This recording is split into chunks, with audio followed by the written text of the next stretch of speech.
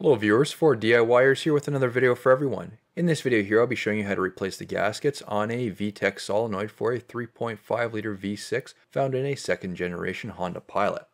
This is a 2011 model and this engine was used in other Honda models as well, such as the Ridgeline and Odyssey.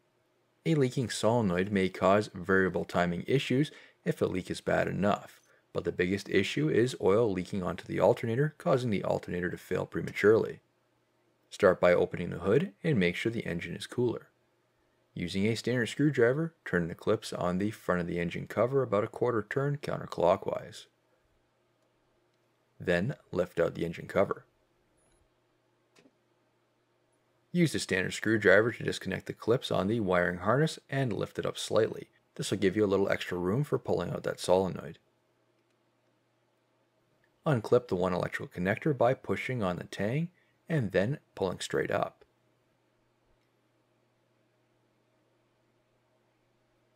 Unclip the other electrical connector, same as previously, push on the tang and then pull it straight off. Next is using a 10mm socket with an extension and ratchet.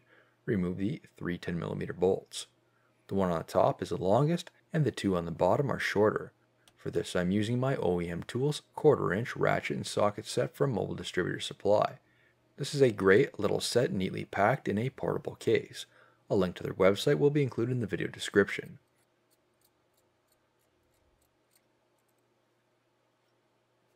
Once those bolts have been removed, the solenoid can be finally removed.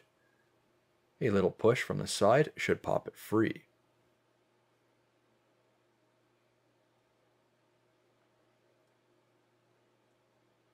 Remove the metal plate. It may need assistance of a screwdriver to help pry it up.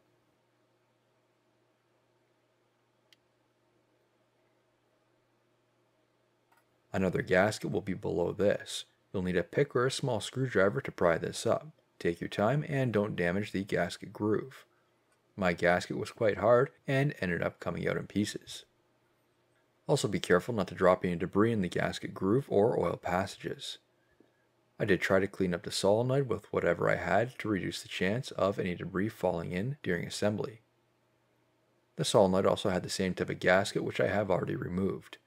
As you can see the old gasket is extremely brittle, it doesn't take much to break it apart. Here's the new gasket kit, I'll include the link in the video description. Make sure the groove for the gasket is clean and then install the new gasket. Once in place, here it is. The kit also comes with new bolts, so I'll be installing those as well. Install the new gasket on the engine side. Make sure it is fully seated, otherwise you may prevent the solenoid from being seated properly or you do risk damaging the gasket when it does get pinched.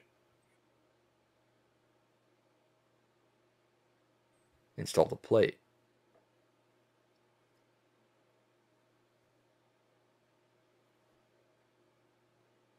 Then install the solenoid.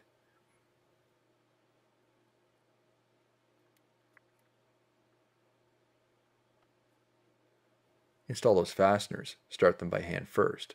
As mentioned previously, the top bolt is the longest. Use a ratchet to slowly go around, tightening those three bolts at the same time. Make sure the solenoid does pull down evenly and doesn't become caught up on the pins or risk pinching a gasket. Finally, finish up by tightening those bolts. The torque specifications for the 10mm bolts is 6 foot-pounds or 8 newton meters. Clip in the electrical connectors. You should hear a snap once they're fully seated. Finish up by pushing the wiring harness back into place that goes across the front of the engine. Finally, reinstall that engine cover and you're officially done. New videos released every week on my channel. Be sure to hit that thumbs up button. It's a huge help to me. Leave a comment below if you found this tutorial helpful. And if you're not a subscriber, be sure to hit that subscribe button. Thank you for watching.